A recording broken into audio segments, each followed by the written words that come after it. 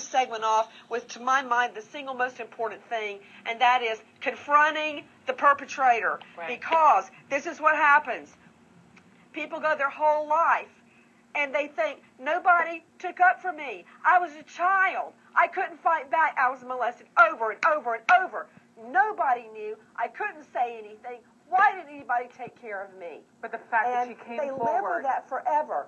And her speaking out is what every victim wants. Whether you win the case or lose the case at trial, the fact that you stand up and you call them on it, Mm-hmm. that is what really matters. And she did it. Good for her. Nancy Grace, thank you very much. Thank I- you for bringing this to light. You've got it. I need to point out, uh, CNN has reached out. We have not received a response from this former vice principal or the school district that they worked in. We're efforting that as well.